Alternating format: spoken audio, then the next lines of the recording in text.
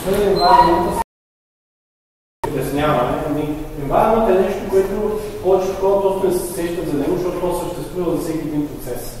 И хората изобщо не се усещат, че то съществува и не си мислят за него, че трябва да се крива.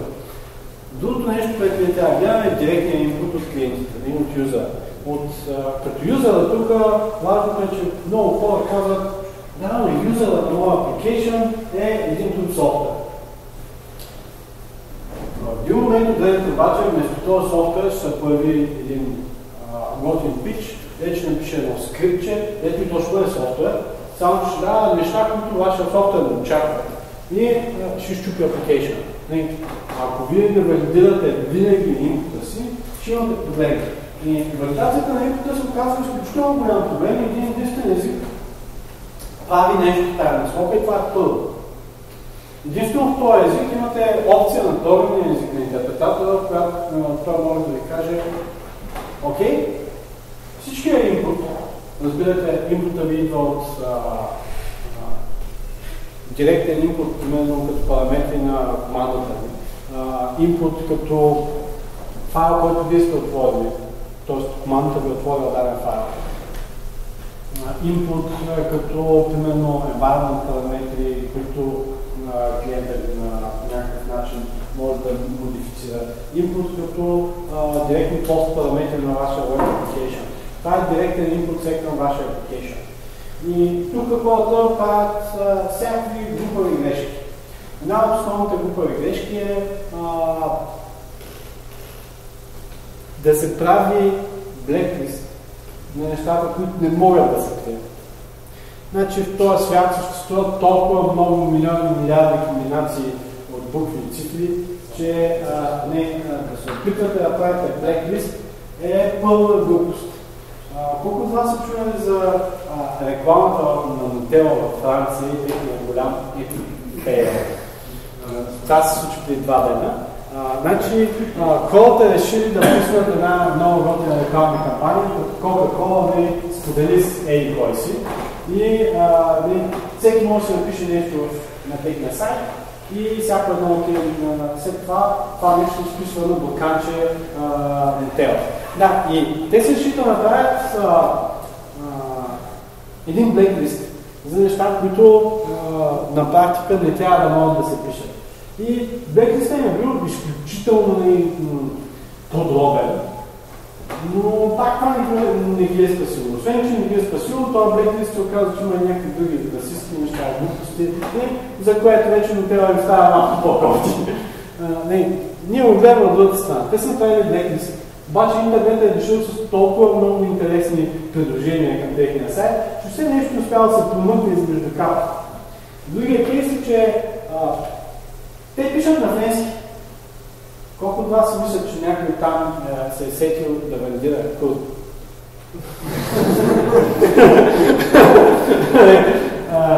Знаем това изказване, пиши да си ходим. Той кейс е нещо съвсем просто, което хората казват, да, аз валидирах, не, не може, това не може, това не може, това, така нататък. Ама вие си, че има и други азбуки. Не, и колко азбуки има? Така, това е един проблем.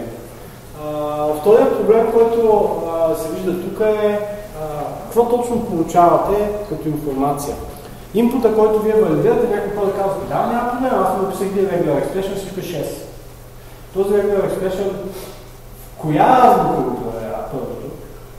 Второто важно нещо е, а, вие знаете ли колко байта е един чарак? Знаете ли каква е разликата между ASCII чаракта и Unicode чаракта? Unicode 8 и Unicode 16. Разликата е в това колко байта се изискват, за да сложите един чарак. в ASCII таблицата тя е, колко беше, 4 байта, нямате възможност да пишете, да, нямате достатъчно бройка, за да съберете всичките купички, цифрички и знаци, които ни трябва за да имаме и кирилица и латиница в но тя мисля само за латиница. Там е достатъчно. В момента, в който обаче ви изпратите кирилица, тая кирилица повечето пъти това нещо се изпраща като Unicode чат, което е 8 байта, вместо 4 байта. което означава, че вие изпращате малкото 4 байта, което се валидира към, може да имате късмета да се валидира към някакъв валиден аз двете. Ама това нещо накрая, ако кода ви е, кодът ви език е Unicode Compliant, което е повече код, с който вие ще работите, се оказва, че той няма да прочете двата 4 байта, ще прочете един 8 байта чарактер. Един. И това е чарактера, който ако сте направили валидацията малко по-късно след транслацията на Unicode чарактера, т.е. преди транслацията на Unicode чарактера, имате много неприятната ситуация, в която вие сте валидирали това, че не е съответният чарактер, който не трябва да бъде, и той изведнъж се е получил баш този чарактер по-нататък. И сега, тъй като предполагам на вас по-често ще се случва в началото да работите с Web Application, поне аз така съм забелязал, че повечето хора започват с Web, защото е по-лесно. Там има още интересен начин за подаване на характер, който се нарича HTML encoding на характер, което е с процент или поси или хикс или поси за съответната стойност и някаква поредица от две цифрички. Съответно, а вие най-вероятно ще позволявате да кажем хикс цифрички, обаче тия последователност от хикс и цифрички, след това, ако мине а, една определена функция, ще се окаже, че вече не са хикс и цифрички, а са точно това нещо, от което сте искали да се пази. Тоест, юзер input има същия навик, така като стакла в да се появява на странни места по странни начини. И вие трябва да се погрижите да направите важно какъв ще бъде whitelist.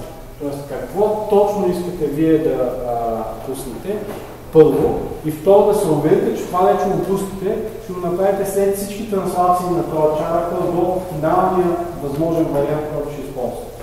Разликата между Unicode 8 и Unicode 16 е пак същото нещо, като с ASCII и Unicode 8. Просто имате двойно по-голям един чаракъл.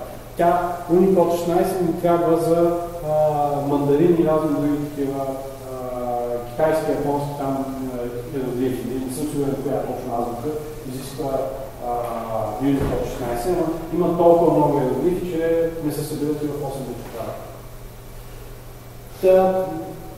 Този проблем ще ви се появи в един момент от времето.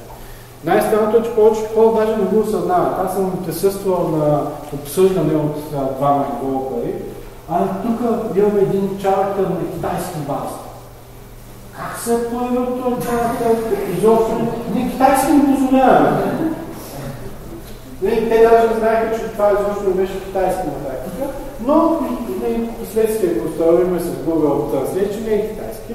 Нещо друго беше, не си спомням. Та, а, някакъв иероглиф беше там на базата. Ние си го четем, вижда се няма проблем. Как се е появил? Появил се, защото базата е направена на Unicode 16. Те си вкарват Unicode 8 и пича просто си вкарват два пъти Unicode 8 от толкова стандартен чарта, вече като съберат отзаде от базата, стават едно Unicode 16. Ето е това странен иероглиф. Само, че това нещо, като го изловим, беше сигурно два-три дена на мислене как това нещо се е появило. Интересното е, че те дори не заподозряха възможност това да се помъкнало без техните, които казват, не може. Не е възможно. Така, аз ви казвам, възможно е, помислете внимателно. Значи, първото нещо, което правите е да се уверите, че това е финалният стейт на този чарактер, той няма да се променя повече. След това валидирате този чарактер, че е нещо, което вие очаквате да има. Регулярните изрази са хубаво нещо, на практиката от първата и мода, това за което говорих там за сами казването на изразите, ви казва, че ако не направите, е, не мачнете по някакъв начин с regular expression съответния user input, вие не можете да го ползвате този user input. Тая на тия данни не можете да го копирате, не можете нищо да правите с тях. Съжалявам, имате user input, не може да го ползвате, докато вие не минете през един regular expression този user input. Аз наскоро правих интервюта за моя екип и дойде едно момче, което мъжки се разбира от работа. И му споменах за Tainted Mode и той каза, ами не съм чувал. А пък работи с пълно 10 години. Няма да споменавам какъв проблем, който виждам тук. Ще спомена следващото нещо. Като обясних е, той каза, а, сетих се. А, ами то това, после трябва да правиш някакви фалшиви регулярни за точка за задача да, на, да си ползваш инпута. И аз си казах, какво? Значи, той кейс е това 10 годишен, човек с 10 годишен опит като програмист, който е синият програмист. И той не е някакъв младши програмист, сега да излиза от университета, и той е синият програмист. И той твърди, че юзер инпута трябва да се градира по този начин. И това е отношението на хората към юзер. Това е отношението на хората към сигурността на този софтуер. Това е отношението на хората към сигурността на вашия софтуер и към сигурността на софтуера, с който вие работите в банката, в общината, в държавата, няма значение. Не говорим за България, говорим в цял свят, това е отношение. И тя сме наясно с това нещо. И а, ние с това можем това курс, защото това отношение е страшно за нас. можем да работим с такива хора. Сега, така, освен чат сетите, типа данни. в програмните езици, които са с, строго типизирани, говорим си тип C, където имате точно определен тип данни, имаме integer, имате float, имате char и така нататък. Трябва да имате предвид, че много често се правят кастове в тези програмни езици. И каста какво представлява? Вие му казвате, че е тази поредица от битове, битове, ще изглежда като, ще четем като тип integer, тип character, тип equals. Всяко едно от тези неща може да бъде един те хората, които, които работят с си, казват, аз с чаракър мога да направя всичко. Защото един чаракър е абсолютно всяко едно нещо, което е градивната частица на останалите типове в си. Съответно, нали си един човек може, може да направи всичко човек. И ако направите грешен каст, т.е. го преобразувате този инпут в нещо друго, валидацията ви може да мине, може да не мине, обаче вие вече сте променили този изразен. Едно от нещата, които се получава с а, каскането е а, промяната а, на самата стоеност. Клиента подава 5 милиарда, вие виждате 4 милиарда и е колко беше. Клиента подава 2 милиарда и нещо, вие виждате минус 2 милиарда и нещо. Сещате ли какво Каста е променило вече самата стоеност, която е дошла. Факт е, че вие сте проверявали за едно нещо, каснали сте го след това, вече в верифайната, и изведнъж се оказва, че това нещо, с което вие работите, не е същото нещо, което сте верифайнали. Това е проблем. А, и ако си мислите, че касто има единствено и само в C C++, грешите. Вие може да си каснете в JavaScript, може да си каснете в PHP, може да си каснете в Perl, в Ruby. Кастовете съществуват. И причината да съществуват е, че много хора се опитват да правят магии. Те магии не винаги сега, стават наистина магии. След това ще го хапат много яко по Значи, последното нещо, което не съм споменал е дата е пристигнала по мрежата. Значи, инпута ви, юзер инпута ви представлява нещо, което директно достъпва, вашата програма директно достъпва а, от потребител, като потребителя може да ви даде файл или а, някакви данни. Другия вариант е през мрежата вашия application да получи някаква информация. Както казах, юзера може да бъде, ви може, вашия application може да е някаква API, и е, това просто да получава е, информация, не, реквести от други тулове, софтуер, в момента в който го докопа един атакува един му адреса и той ще реши да направи малко фузинг. Да праща рандом данни към това нещо. Тя рандом данни сега в един момент от време ще щупат application. Гарантирано ви. Ние чупим без да искаме, без да правим даже фузинг при нас, чупим чуш софтуер, на който да ще стане. Просто като направим повечето недоя, повечето фъдност. Нашето по-често е denial of service. Не, не откриваме чак такива фрапантни глупости, но информацията от мрежата е проблем. Както Васил споменава, протоколите са интересно нещо за вас. И ако вие не валидирате правилно информацията си, се оказва доста лесно на практика да кажа малко по-навътре една информация, както беше с Wi-Fi пакет, което ни пича си дава в фара. Е баси. Така, следващото нещо е race condition. Някакви въпроси за input validation? Тук нещо? Първо си проверят или ако не ще е технолог, главната на, на кода на скрипта, всичко, което ти идва като input, отворен файл, network socket, ти трябва да верифайнеш всичко прочетено там и да го ползваш. А т.е. ти трябва да си го напишеш или първо ти верифайва се там? Не, първо нищо не ти верифайва, ти трябва да си напишеш верифайва. Първо ти гарантира, че това, което си взел от сокета, от юзер инпута на AWS на параметрите или файла, което го включили си на сайна на тази променила, тази променила сега вече може да я ползваш за нещо, примерно да изпратиш на база данни, не може да изпратиш да я запишеш в файл, не може да я използваш да екзекушаш на команди. Е, в общи може да, да я слагаш в фифове, обаче не може да я ползваш за Haskell. До някъде. Не съм добре запознат с Haskell, за да мога да кажа. Да, пък имаш някакви мръсни, инпутен мръсни думи. Да. Това е И трябва да го покажеш. Някой друг въпрос? Ами. Така, Race Condition. Race Condition са нещо много красиво. А, следващото нещо, което се случва е първоначално хората казват, да, ще напиша едно софтуер, че то ще работи на тази хубава машинка, всичко ще бъде много добре. По едно време съм казва, че това софтуерче почвате да го ползвате много често и а, решавате, че го направите.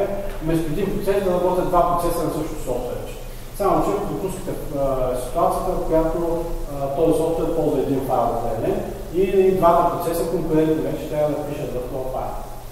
Когато вече става въпрос за конкуренция върху shared ресурс, имаме проблеми с race condition. Race condition е кой процес първо е отишъл и е записал нещо в този файл. В случая тук сме казали нещо много по-хубаво, една грешка, която се нарича time of check и time to use, което е много стандартно нещо в C, много чест кейси, а пък и не само в C, във всичките скрипто езици също така правят. Проверявате първо дали файла съществува и ако и е writable, и ако съществува и writable, тогава правите open на този файл. Сега, от този ред до този ред, както виждаме, има един, два, три реда. Е, колко време смятате, че ще му отнеме на къмна да екзекютне точно тези три реда?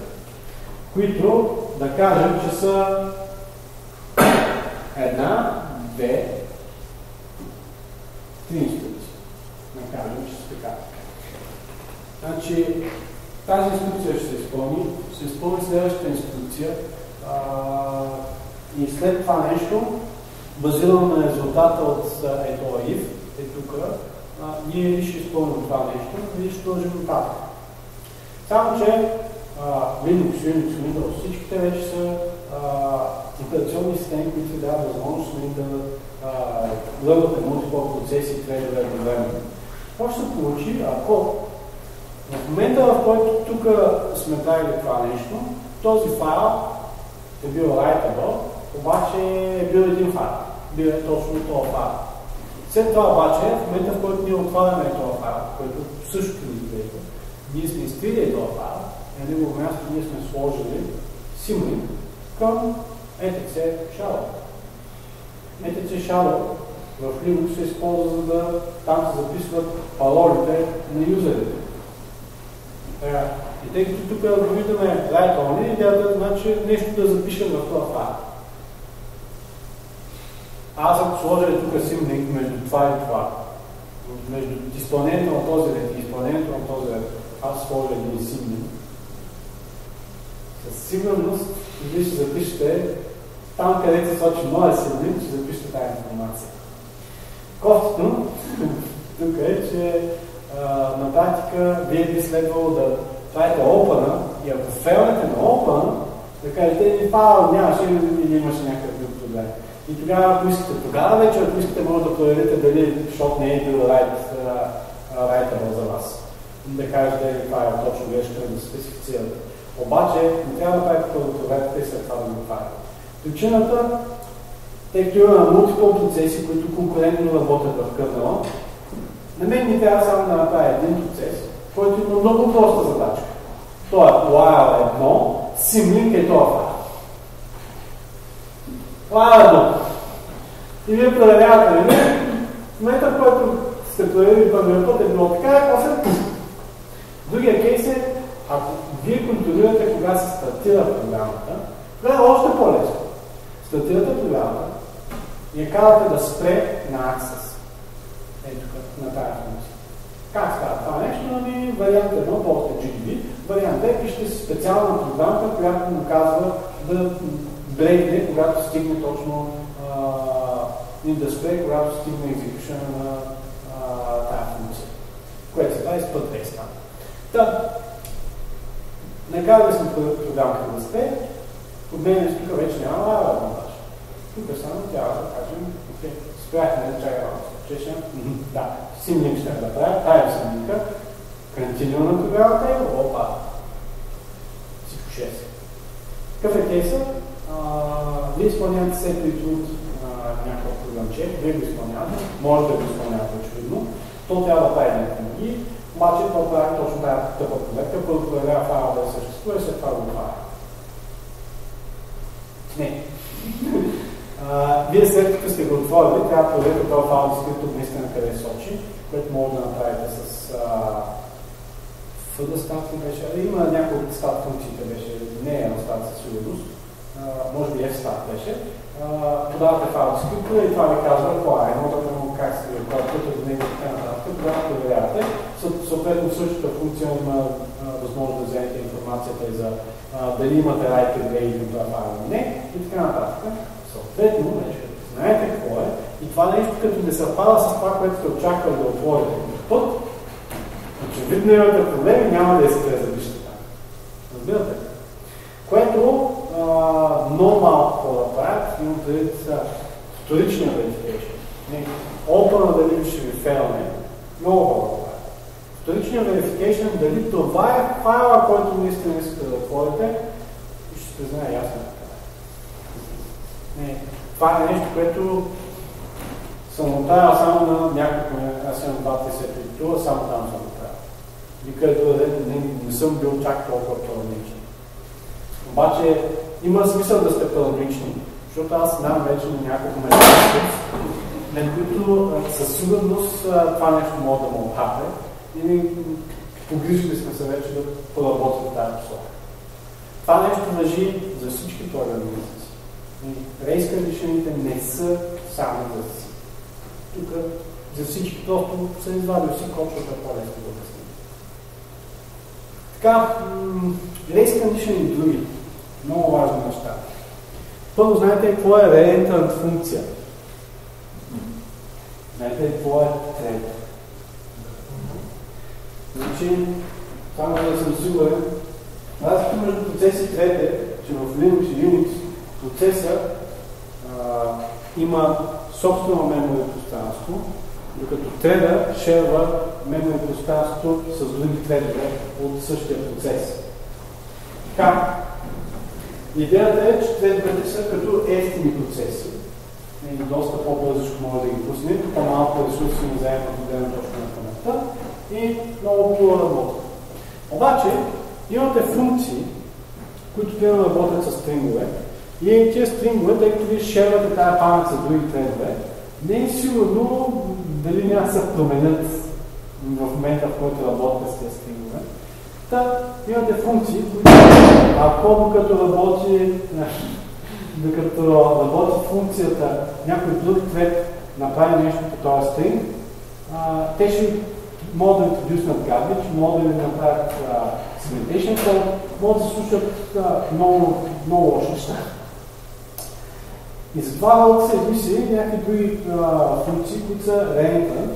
Reentrant означава, че когато влезете в тази функция, когато вече подадете някакъв стринг на тази функция, примерно, ако да кажем, че ще занимава с стрингове, вие гарантирате тази функция, гарантира, че този стринг по никакъв начин няма да може да бъде променен от някой друг трет. Този стринг ще бъде само за тази функция, само за този тег, ще остане така, както сте му го подали и тя ще може да направи всичко нужно за да интродюсния аутпута, който прави съответната функция или анализа, който прави това нещо, ще бъде върху данни, които са immutable, т.е. непроменяеми от съседни тредове. Това е идеята на редите на функции. И сега има един много готин кейс. В един момент времето идва Иванчо, дава по задача, е това application, трябва да направиш multithread. Иванчо сяда, пише си пътет имплементацията си по 6 и само че какво прави за надолу, като се стартира треда, и отива, копира кода от main thread и го слага там. И там има функции, които не са редни.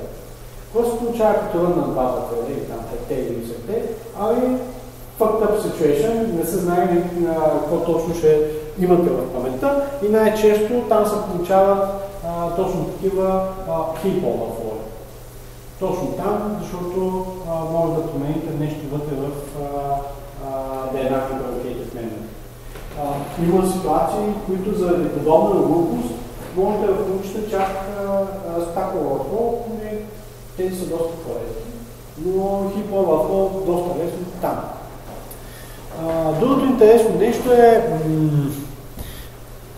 много хора решават, че ще използват дейтабейс за логик.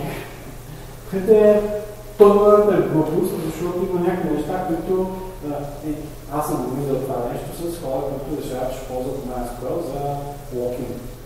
И казват, няма проблем, ние тук имаме една табличка, тази табличка е в MySAM Storage Engine и а, ние там инсъртваме нещо. Само дето инсърт апдейт на тези таблици когато използвате MySQL с MySAM Storage Engine, ви гарантира, че това не е ASIC compliant, т.е. това не е transactional, т.е. това може да ви гарантира, че две неща не могат да се случат едновременно върху тази таблица. Факт е, че аз съм наблюдавал и все още мога да направя, да ви направя таблица от 1000 реда, в която да изпълня няколко проекта, няколко апдейта и вие да видите в един селект таблицата на половина апдейтната и на половина не апдейтната. С сам Storage Engine. Това е точно защото не е ASIC компания. Само, че повечето програмисти, които ползват uh, MySQL, не са напълно наясно какво значи ASIC и не знаят какво точно е транзакция. И поради тази причина казват, ами тя базата данни, ние записваме едно коледец там, другото също записваме едно коледец там, се оказваме, че а, да приемем, за Authenticated User трябва да напишем в коленцето на базата данни едно, а за Unauthenticated User трябва да напишем 0. Имаме два веб сервера, двата веб сервера имат едно скриптче, което апдейтва това коленце в базата. Идва един клиент, аутентикейтва се, записваме в базата едно, в същия момент идва на другия веб сервер друг клиент, който не е аутентикейтен и се апдейтва абсолютно също това коленце става 0. И този клиент, тък му се аутентикейтнал, веднага му питаме отново за това. И доколкото това е хубаво за нас от гледна точка на сигурност, супер. Обаче, ако това беше обратно, е, идва един unauthenticated клиент, записваме едно, идва един authenticated, authenticated клиент, записваме едно, рефрешва си нашия unauthenticated клиент и изведнъж вижда 100 000 долара след. Не, това не е да не подход.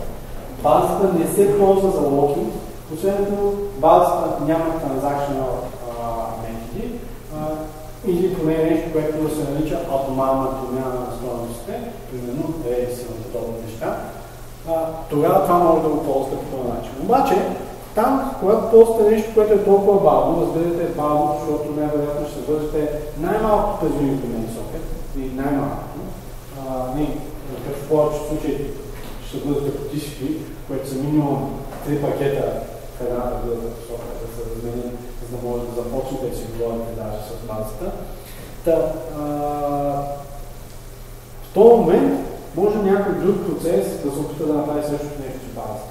И там base conditionите стават много по-фрапантни, то е просто причина, че съответно имате по-голямо забавяне. Е, тук е така, имаме просто някаква една инструкция разлика в общи Много е бързо. Е, че не е една инструкция, ами се 1002. Е в две инструкции, вече не ми трябва даже да мисля за лавато, мога даже да го сметна колко време трябва да чакам преди да го пусна. Толкова бързо може да бъде application, който трябва да направи лесна решение, не мен нещо посъдава. Съответно, внимавате с тези неща. Мислите много внимателно как сте ги ползвате. Shared Memory е а, нещо, което се използва, когато използвате, примерно, multithreads или multiprocess дизайн на вашия application. Това е нещо много готино, обаче е съвърнато абсолютно същия проблем с иска решение. Не може два процеса едновременно да пишат в една памет, защото ще напишат глупости в. И да не се случва това, обикновено за shared memory използваме локинг механизъм. То локинг механизъм е хубаво да разберете какви са локинг механизми. И тук Mutex, Futex, Primo, Casio, това, всички тези методи са методи да локнете. Всеки един от тях е хубаво написан, като изключим, че Futex миналата година имаше Local Root Exploit за него в Linux кърнел, тъй като това е имплементирано в кърнел, нали? По принцип тия хора внимават какво пишат, но се случват там вече. Проблема беше с а, невалидиране на какво? Юзер А какъв беше юзер инпута? Поинтър към адрес, който се контролира от кой? Юзер. Да, юзер инпута много важно нещо. Няма значение дали пишете къмел или пишете web application. User input най-важното нещо. И това е цялата идея. Така, Захтер модела, забравих да прочита. Съжалявам. Нямам информация там, която да ви обяснявам. А, ще си припомня следващия път. Тайните практика да казах, че не съм се подготвил, обаче ще разкажа някакви неща за тайните практики. Тайните практики са нещо много просто. Идеята е да се засече вашия софтуер, колко време отнема да направи някаква точна операция и базирано на тази операция, вие да а, направите някакво заключение, което да ви каже, примерно, е парола. Принципът е много прост. Ако приемем, че имаме MD5 сума и тази MD5 сума ни отнема 0,3 секунди, за да ни верифайне паролата, как става цялата работа? Вие пазите паролата не е чист вид в базата, пазите като някаква сума. Избавя сме Amplify, защото сме били тъпи, така сме решили. как се проверява паролата? ние подаваме clear text паролата. То взима е тази Amplify сума, взима нашата парола да сме подали, изпълнява Amplify върху нея и проверява тази сума, дето е създава, дали е също като тази сума, дето имате базата. Перфектно. Много лесно, много просто. Само, че приемаме, че тази константна операция, която трябва да ни е MT5 не е баш константна, но е на различно време, зависимо от това колко дълга е паролата, която е дава. И тогава вие решавате колко ще се забави това нещо. Базирано на това колко се забавя, вие решавате следващото нещо е, вие тествате времево записвате си, примерно, когато съм 5 чарка, 0,3 минути. Когато съм 10 чарка, 0,4, така нататък. И си записвате тези неща. Следващото нещо, което правите е да чакате някой да се авторизира. Вие не знаете паролата на криптирана информация и така нататък. Обаче знаете, че той в момента се авторизира. Това е нещо, което знаете. Защитите времето колко време се авторизира. Виждате 0,4 милисекунди. Колко чарка? 10 чарка. А, значи, насторвате си вече, взимате си дикшенарито, което е само с а, 10 чарактерови пароли и първата. И вече знаете какво може да атакува. Тайните атаките не са свързани само с това нещо. Имаше някакви по-трики, за които не се срещам в момента, опитвам се да се замисля по-сериозно. Има, а, това с паролата е много тривиално, така да наречем. Обаче има ситуации, в които а, приемаме, че забавянето на а, даден ресурс от а, вашата програма може да каже а, колко операции върши вашата програма назад. И точно като Sendfire, ама правите нещо друго. Примерно обработвате банкови сметки. Ако имате една банкова сметка и направите, направите една точна операция с нея, а, ще видите колко време от нея. Ще видите за две колко време от нея. След това, ако гледате трафика на някой, базирано на това, че той знаете, че той прави банкови операции, ви можете да разберете колко банкови сметки има. И, това е oversimplified overview на а, идеята. Идеята е да имате някакъв ресурс, който вие гледате, който вие можете да се чете колко време отнема. Базирано на това време, което вие знаете, вие да прецените само с наблюдение на външни фактори на този application, да разберете колко от съответната стоеност или файлове, колко ще бъде application обработва. По този начин после да вземете това да комбинирате с някаква друга атака. За тайминг атаките ще изкарам, защото имам един пейпер готвен за това нещо, просто трябва да намеря къде ми излинковете. Ще ви покажа там тия неща. Мисля, че имаше някои по-интересни моменти. Това не зависи ли от ресурсите на обработващата машина? Значи в някои случаи ти си прав, че в някои случаи зависи от ресурсите на обработващата машина, в други случаи зависи цяло от софтуера. Ще дам един много прост пример. Наскоро, предния месец, логвам се на една от нашите машини гледам едно PHP, взема един процесор на 99,9% CPU. Едно PHP скрипт. Викам, бе, какво прави това нещо? Отивам при програмистите, питам, какво става тук? Не може едно PHP скрипт да ми даде един код, не, те няма стигнат за всичките скрипта така. Ами то нищо не прави, то само лайва едно прави. Та, проблема е следния, не, защото да се продължа. Идеята е, че ти не знаеш как се имплементира програмиста application. Той просто може да яде винаги ресурси до момента, в който не това е обратното нещо. Като има работа, тогава да работи. Не, точно, че като има работа е това скрипче, яде точно 5% си